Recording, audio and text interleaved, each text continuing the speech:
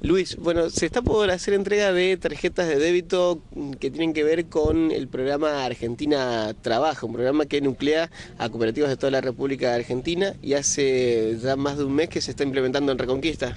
Sí, hace exactamente el 15 de abril que se viene implementando en Reconquista y hoy se va a hacer entrega al acto formal ¿no? de la entrega de tarjeta para que la gente pueda cobrar y, de ahí el más alargar de lleno el proyecto que se llama eh, Capacitación en Obra del programa Argentina Trabaja.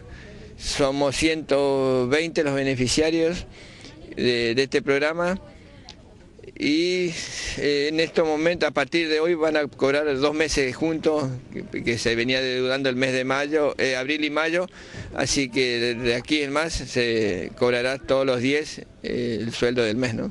¿Cuánto percibe un trabajador de una cooperativa que integra este programa? 1.200 pesos por mes. más el monotributo, el seguro y todos los, los beneficios que tiene un proyecto.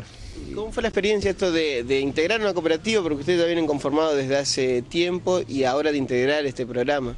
No, nosotros ya venimos de hace de 2004 que venimos con las cooperativas y bueno, y queriendo formar la, eh, confederación también más o menos cuatro años atrás.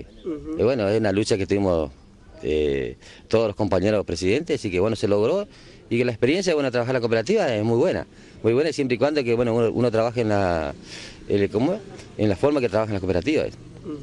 Ustedes tuvieron obras, por ejemplo, de viviendas, de veredas, pasaron por distintas obras. Por distintas etapas, obras de vivienda, los SIC, eh, veredas comunitarias, playones, eh, después, por supuesto, obras particulares que por ahí salen porque también tenemos que buscar siempre afuera y no depender de, siempre del gobierno o del municipio. Claro, porque esto comenzó, podemos decir, de la mano del Estado, pero el objetivo siempre fue que ustedes puedan tener su camino propio, ir eh, eh, por los rumbos que ustedes deseen y no por los que le marque generalmente el, Estado. ¿Esto se logró o se está logrando? Sí, se, está logrando despacito. Lo que pasa es que también insertarse hoy en día en el, mercado afuera de lo que es el municipio a nosotros nos cuesta un poco, pero uno va haciendo experiencia y siempre y cuando que haga los trabajos como se deben hacer, es siempre tener las puertas abiertas. Los pasitos son los que veníamos diciendo, la conformación de la cooperativa, de la confederación. ¿Y el horizonte cuál es? El horizonte y la licitación pública, las obras públicas, eh, que es lo que estamos anhelando, ¿no? Ahora estamos haciendo una serie de proyectos para cada cooperativa, para que tenga un sustento la cooperativa laboral eh, de distintas índole, ¿no? Eh, que ellos mismos puedan tener, eh, fabricar productos, venderlo y que mantenerse con eso eh, diariamente, ¿no?